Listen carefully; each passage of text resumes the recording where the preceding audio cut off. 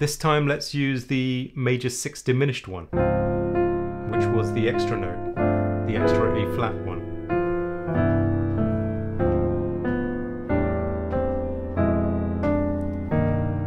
Hi, this is Shan, and in this lesson I'm going to show you one of the earliest moves that Barry Harris showed me, moving through a major scale and then turning it into the major 6 diminished, which has one extra note, and what you could do with it as well. Please make sure you're subscribed and you've hit the notification bell so you know when I upload new content.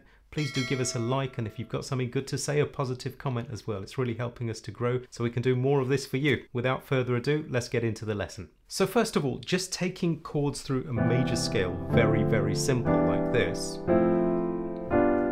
What we're going to do is take two notes in the left hand, we'll take the C and the G down the bottom, and then the remaining notes, the E and the B, will be up the octave like this. Okay, so just get good at splitting up chords like this.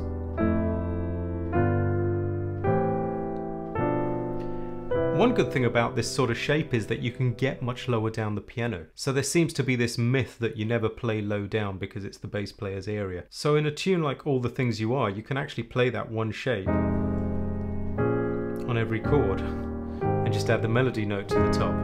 If that's too hard for you at the moment, it doesn't matter. But just to show that you can use these low down the piano and they're really good for that.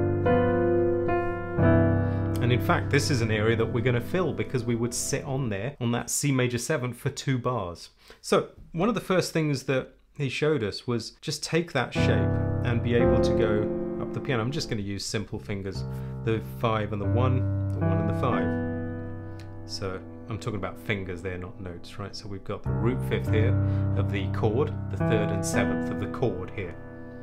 Just going through the scale. Recommend keeping those shapes in your hand what I call loosely locked.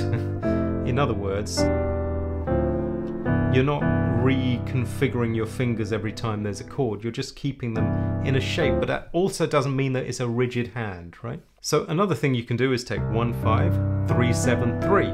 So we just double the third and take that through the scale. Love the sound of these chords. And you can practice them going down as well, of course.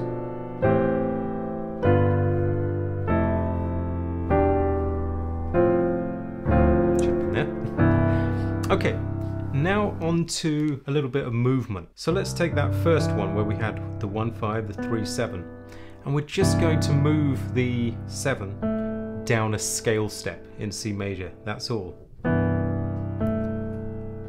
And do that on every step. So, so far, these are just major scale moves, which are great.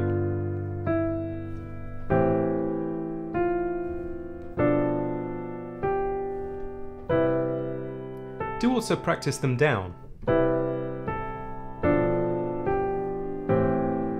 And of course, different keys would be great. I don't feel that everything has to be 12 keys, I know a lot of people do feel that way.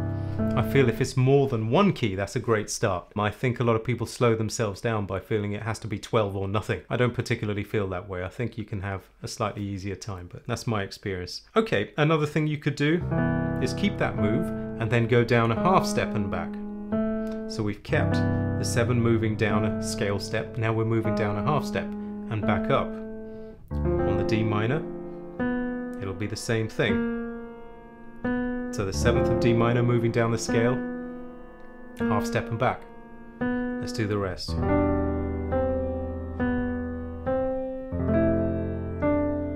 Hope you see what's happening.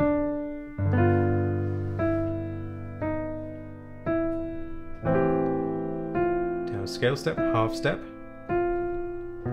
Scale step, half step. And back to the beginning.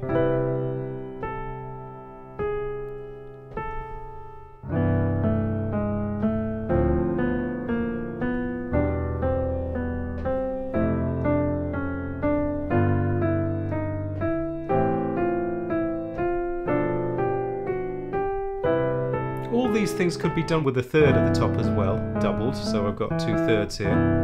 Harder on the fingering, as you can see in the middle, but you figure it out, right? the trick is to try and still get a legato sound so it doesn't end up like this. You can use a little pedal. You can see my pedal button in the corner of the screen. Okay, those are major scale moves. Now let's see the equivalent for those who know the major six diminished scale from Barry Harris that I teach elsewhere on the channel, so I won't go right to the beginning of it. In summary, what we get is we keep all the C major scale notes, but we add the A flat in there, okay? And now, if we look at the chords in there, the first chord we get, I'll just do a little bit of summary, is actually a C6. The next one is D diminished. The next one is C6, inverted. Next one is F diminished, inverted. Etc. And you keep getting C6s, D diminished, inverted, C6s, D diminished, etc.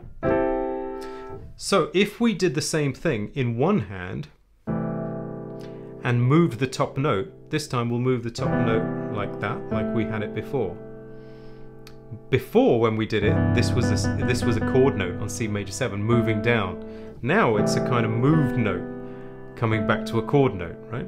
And we'll do it on the diminished as well. And we'll do it on every chord.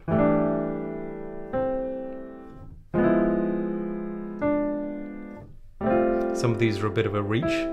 Got to cheat with some fingers, with my little hands anyway. If you've got massive hands, then fair enough. Maybe you've got a nicer way to do it. Okay, if I show you the same thing where the hands are split, 1 5 in the left, the remaining notes, the 3 and the 6, up top, first thing to do is just get good at doing this through the scale, right?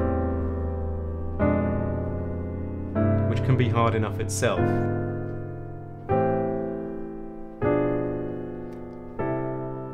Let me do that one more time.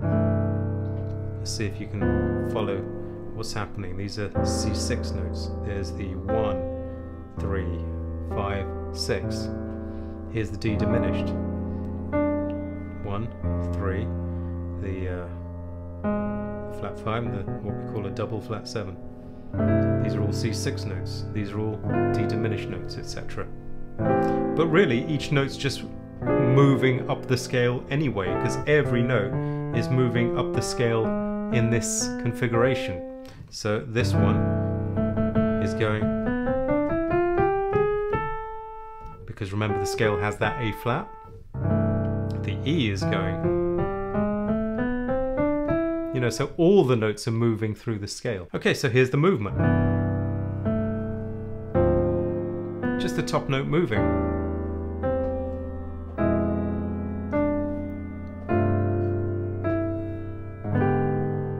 Some people think this one is wrong. It's not. It can actually be really pretty. Maybe we'll explore it another time. so let's say we've got all the things you are.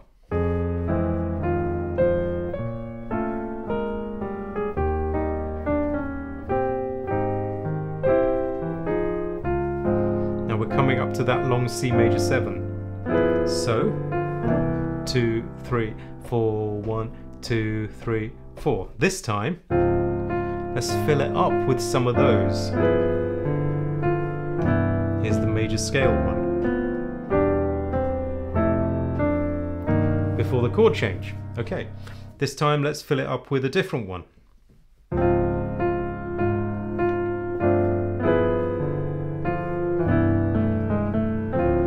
It's quick. Maybe I'll do that without holding the third and I'll be able to do it better.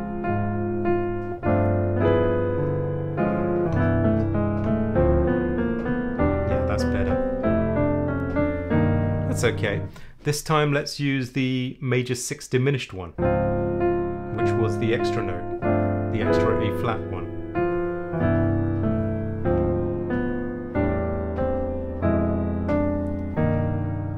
all give us time fills, and for me they're not four different chords, it's one chord moved through a scale. We do plenty more of this in more depth on jazz skills if you're interested in more, plus a developing fluency course to get you fluent in the language to begin with, improvisation, tunes, movements, voicings, a vibrant community and help from me. Thanks for watching, see you on the next one.